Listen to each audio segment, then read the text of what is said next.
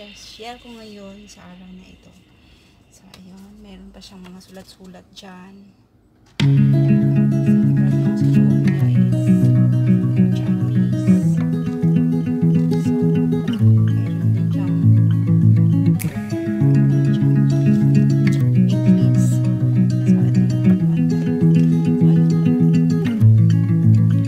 So, meron sa loob